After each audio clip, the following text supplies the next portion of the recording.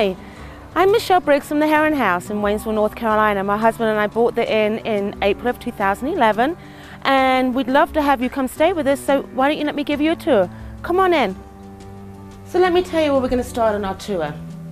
We keep a 24 hour social table for our guests. We have coffee and tea, we have snacks, fresh fruit, and of course tea and coffee 24 hours. We also keep a fully stocked refrigerator with sodas, um, water, cream for the coffee, and if you'd like to store anything in there, you're more than welcome. Let me show you some of our rooms. Come this way.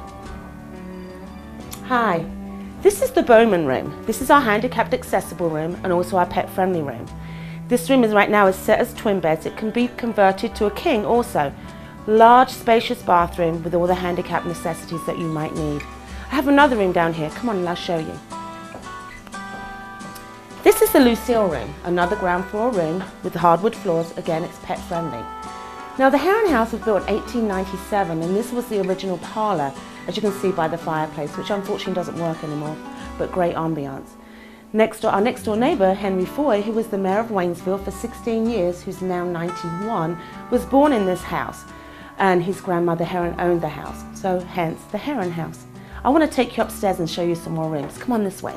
Now we're on the second floor of the inn. The second floor has got four rooms, three queens and one king. Um, the two back rooms over this side, the uh, Jessica and the Henry have got beautiful mountain views and you get the most gorgeous sunrises in those two rooms. They're both queens. On the front side of the house we have the Molly, which is a large king, and we also have the Mary Lou, which has got the original window that was built with the house and the original glass. Absolutely beautiful.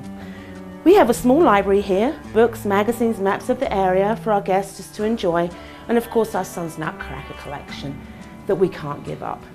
Hi, welcome to the parlour. This is the most peaceful room in the house. Perfect place to have a glass of wine with your friends and family, meet the other guests, have a game of chess, or just sit and read a book. Hi, welcome to Bridget's Bistro. This is a little bistro we have in the inn. We're open to the public for lunch and Sunday brunch. We also do private dinners, we do murder mystery dinners, we do um, lots and lots of weddings here, rehearsal dinners. We are available for off-site catering, um, which is very versatile. Bridget's Bistro was named after my dear late mother. She'd be so proud. Well, thanks guys for taking the tour of the Herren House. It was a pleasure having you. I hope you'll come to see us real soon. Just give us a call. We'd love to meet you.